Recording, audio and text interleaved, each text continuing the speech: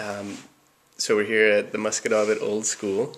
Uh, my name's Neil, and you're about to meet a few of the people here. Um, we're just going to ask them to say their names and state their current obsession.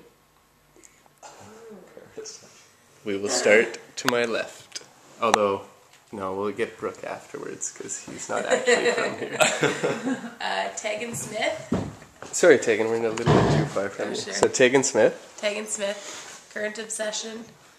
Babies. How many? Just one. Okay. Beautiful. Yeah, yeah. Yeah, no, only one. And next, Caitlin Smith, and uh, current obsession is sewing all of my own clothes. sewing all of your own clothes. Yes. How do, do you just? Does that mean that you have fewer outfits because you sew, or that you sew a lot?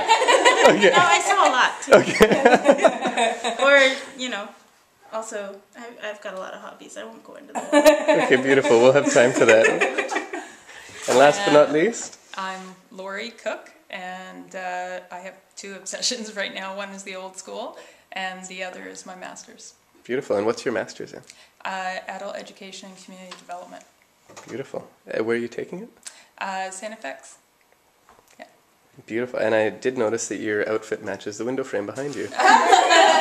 Maybe we'll keep the turquoise then.